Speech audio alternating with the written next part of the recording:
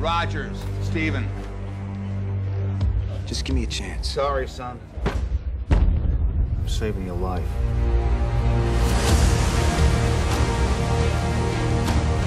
General Patton has said that wars are fought with weapons, but they are won by men. You just don't know when to give up, do you? I could do this all day. Our goal is to create the greatest army in history. I should be going with you. Look, I know you don't think I can do this. This isn't a back alley, Steve. It's war. But every army begins with one man. Five tries in five different cities. I can offer you a chance. He will be the first in a new breed of super soldiers. Why me? Because the weak man knows the value of strength, knows the value of power. That wasn't so bad. That was penicillin.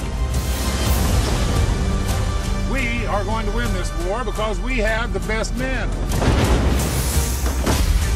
Now, Mr. Stark. And they will personally escort Adolf Hitler to the gates of hell.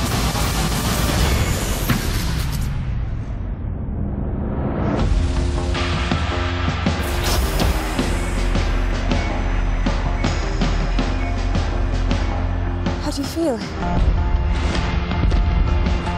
It's honor. Your task won't be simple. Who the hell are you? The first of many. Your enemy is not what you expect.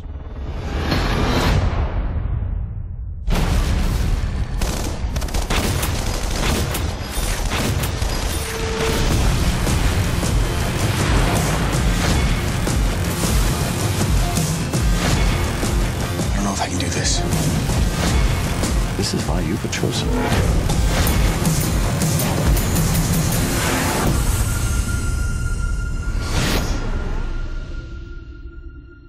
What do you think?